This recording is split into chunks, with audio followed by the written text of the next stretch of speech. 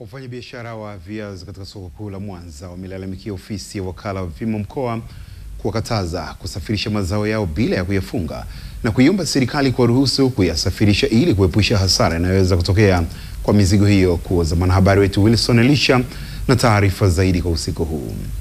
Baadhi ya wafanyabiashara wanaofanya biashara hiyo ya viazi kutoka katika mikoa mbalimbali hapa nchini wamelalamikia ofisi ya wakala wa vipimo WMA mkoa wa Mwanza kwa kufanya ukaguzi wa mizigo ambao utawafanya washindwe kuendelea na biashara hiyo. Sasa wao wanapokuja wanasema hivi viazi kilo 85 havitakiwi vionekane. Sasa tunashindwa tufanyeje biashara wakati tunaleta viazi vinaoza, na viazi walivyosema kwamba visifike kilo mia? Kweli havifiki, na vinakotoka kuna vipimo, tunakuja kukamatiwa Mwanza. Ina maana wale wakula wajui kufanya kazi, hapa ndo wanajua kufanya kazi, au ni njia fulani ya kutunyanyasa sisi tunaofanya biashara. Ndio tunaomba serikali itusikie. Isikie malalamiko yetu na kulia kwetu, ingalau viazi vio vinakuja hapa vikiwa wazi ili visioze, tusipate hasara. Vikiwa na hewa hivi haviozi.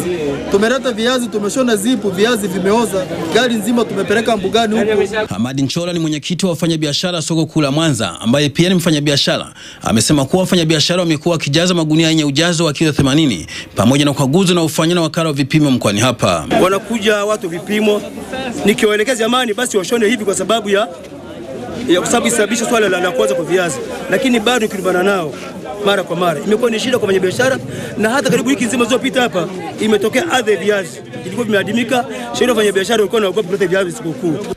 Kamera Star TV imefanya jitihada za kutafuta mamlaka zinazohusika na suala hilo na kukutana meneja wa wakala wa vipimo mkoani Mwanza, Hemid Kipengele, ambaye amesema zoezi la ukaguzi na uhakika wa ufungaji wa mizigo lipo kisheria.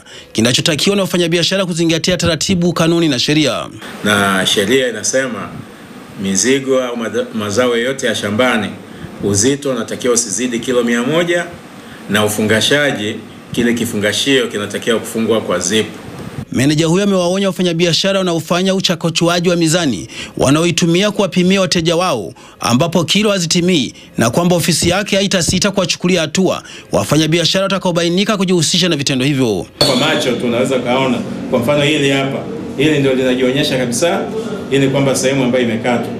Kwa hiyo ni, ni, ni vizuri sisi wananchi tunapoenda maeneo yetu ya kununua bidhaa tuchunguze hata haya mawe, sio lazima tuchunguze tu mizani, tuhakikishe na haya mawe yako vizuri, hayajakatwa au hayajafanyiwa uchakachuaji wa aina yoyote. Ofisi ya wakala wa vipimo mkoani Mwanza itaendelea kufanya ukaguzi wa mara kwa mara kwa lengo la kudhibiti wafanyabiashara wa viazi wanaofunga mizigo na wale wa mizani bila kuzingatia sheria ili waweze kupigiwa faini kwa mujibu wa sheria hiyo. Wilson Elisha,